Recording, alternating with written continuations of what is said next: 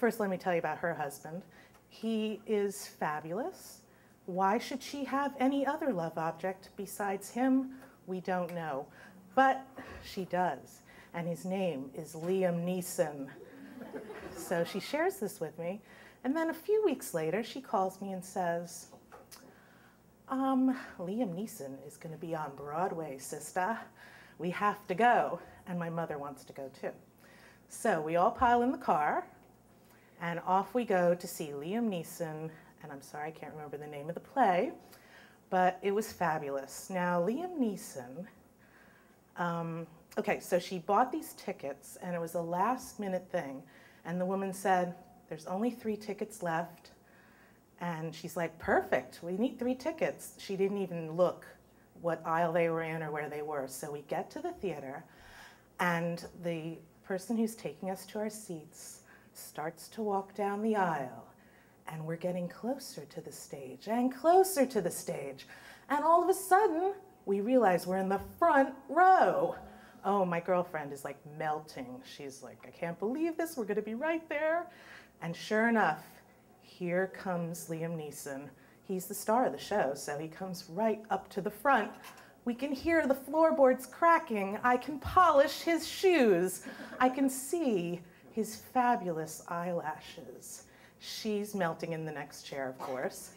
And it's a wonderful performance. She's so happy, but now she says, That's not enough.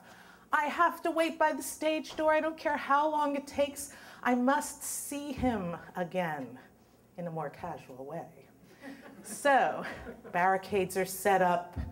She waits by the door. The guy comes, her, his assistant comes out and says, I'm sorry, he needs to take a nap for the next show, so he won't be coming out. Well, she says, we'll have to just come back. We'll have to stay till the evening. So we go to the Empire State Building. We climb to the top. Oh, it's very lovely. We come back down, and about an hour later, we're standing at the barricades once again. And all of a sudden, they start coming out. Every Welsh actor coming to support Liam Neeson. Yes, there's Pierce Brosnan. There's Anthony Hopkins. All fabulous love objects, remember? And we're just looking at them, and finally, here he comes. He came out, and right as he walked by her, she went, Mr. Neeson, how was your birthday?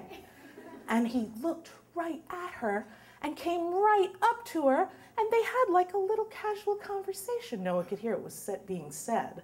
But he was so nice to her. Pictures were taken. Now she's so thrilled. But that's not enough. She wanted to go to Sardi's, which is right across the street. So we go across the street. Now, I have a love object. Well, let me save that till the end. So her mother has to go to the ladies' room. It's on the second floor. And while we're up there, we learn that in between at intermission, it's like a well known fact that people come over, the best known people, and they go up to the second floor to have cocktails. So we're like, right on, let's get a cocktail. We belly up to the bar, and all of a sudden, there's someone like pushing against me. And just as I was about to object, I turned around like, who is this obnoxious person? Because he was really like, it was almost like obscene. And uh, I turn around and it's Sean Connery, the Sean Connery, James Bond. Well, I always thought he was pretty cool.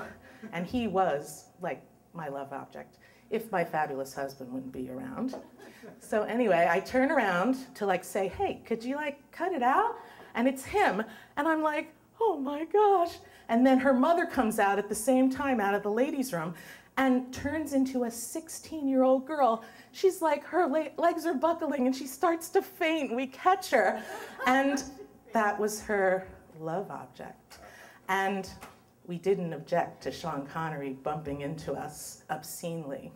And that's the end of the story.